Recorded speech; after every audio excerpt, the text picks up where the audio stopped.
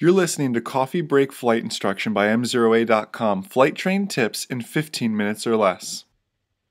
Hey everyone, Jason Shepard here of M0A.com alongside good friend, esteemed colleague, and certified flight instructor, I'm sorry, CF double I extraordinaire, uh, Mr. Larry Diamond. And Larry, you're going to need that double eye looking at the window behind you uh, with all that snow coming down. So um, good luck with that one, and cheers from sunny Florida. Well, not sunny, but 70 degrees, so makes life a, a little bit nicer in the wintertime.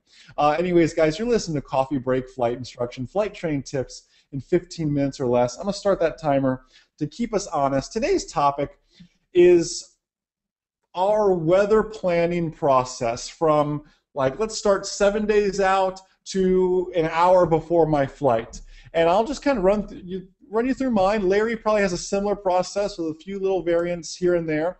Um, but my weather planning process, seven days out, actually starts on like uh, that Weather Underground or Wunderground um, is the website where I usually like to go.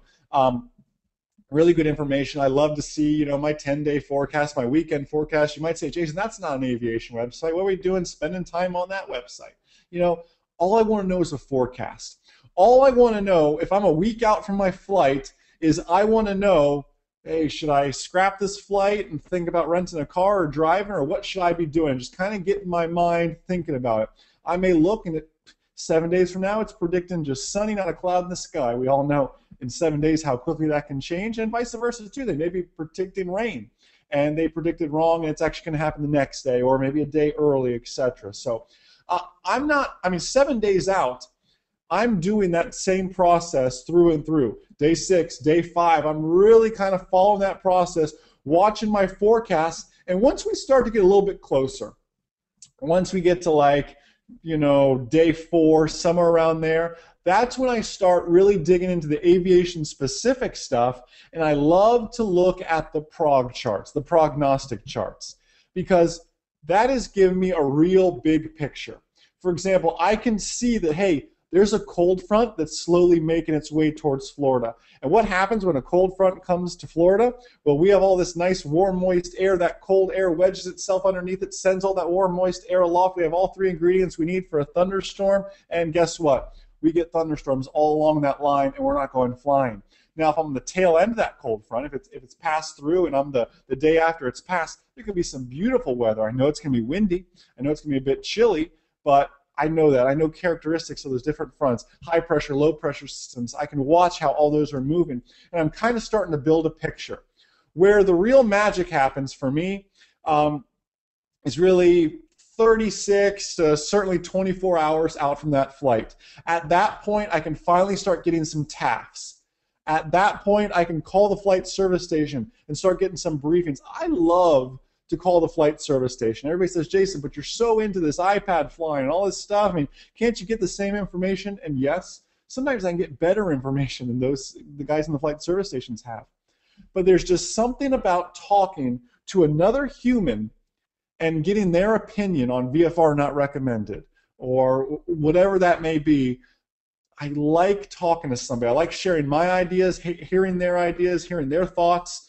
Um, and see what they think about that flight I'm about to take. These guys are trained professionals in that department. Now, I'm still going to look on my iPad. I'm still going to grab all that information as well. But I like talking to a real individual in those cases.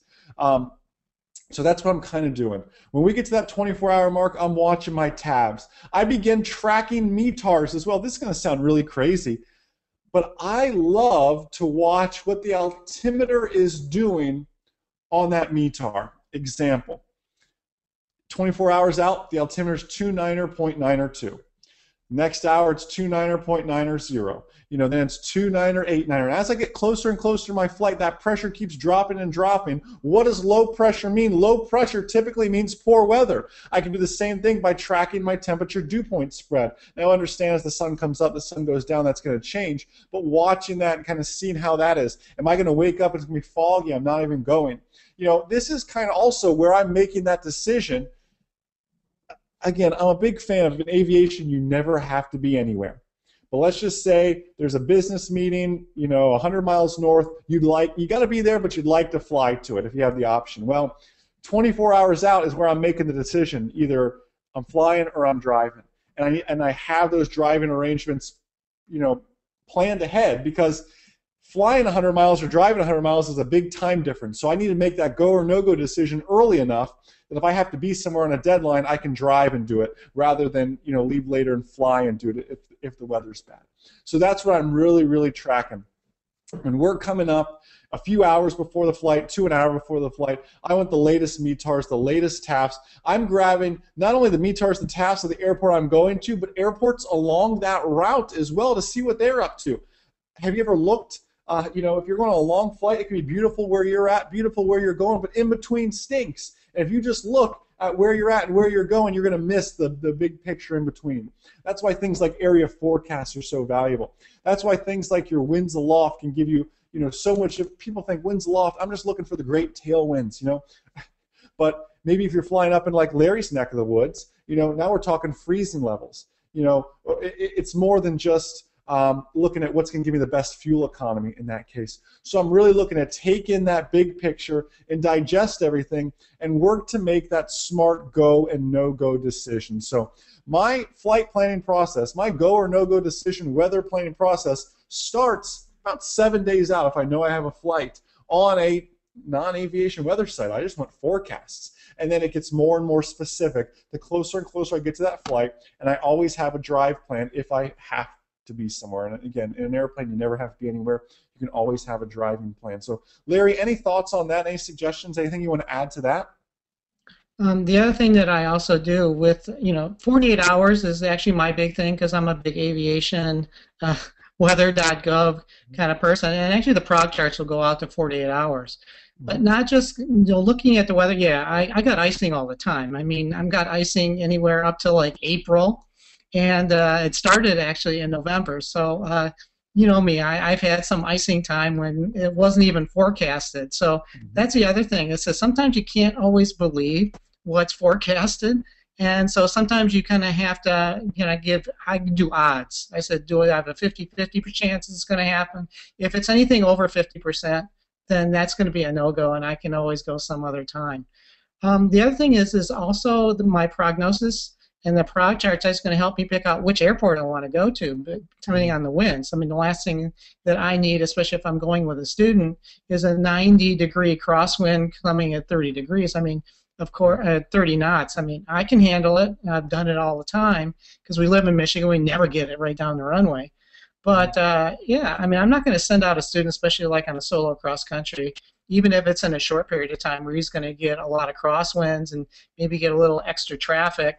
And the other thing is that I don't want him even going or her uh, unless they've done the same due diligence on weather. I mean, first I have them tell me what they saw and then we kind of then I'll say what I got, and then we'll kind of come up to a consensus. So they're not going out anywhere without at least watching the weather, uh, at least seven days out, and then especially 48 hours before. I mean, I've actually canceled flights with students when they came to the airport, and they said, "Hey, look, did you look at the weather?" No.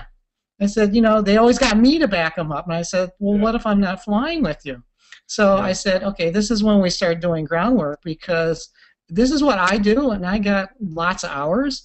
And if you're not doing this right now, you're not forming very good habits. And uh, I'm kind of like not trusting you right now with weather and making a good pilot decision.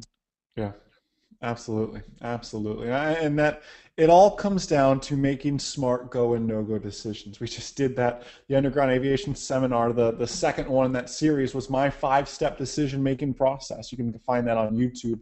Uh, if you guys haven't seen that, very, very good webinar. A lot, a lot of fun on that. So, uh, guys, hopefully you enjoyed that. Kind of getting into our brains a little bit about how we make those go and no go decisions and, and, what we're looking at weather wise, even as far as seven days out when we know we have a flight coming up uh, the following week. So, uh, guys, on behalf of myself, the uh, wonderful CFII extraordinaire, uh, Uncle Larry, and the entire M0A.com team. Thank you so much for listening to Coffee Break Flight Instruction. Go ahead and subscribe in iTunes so you get instant alerts when the next episode comes out. Uh, leave us a review with your thoughts. And uh, most importantly, guys, remember that a good pilot is always learning. Have a great day, guys. See ya.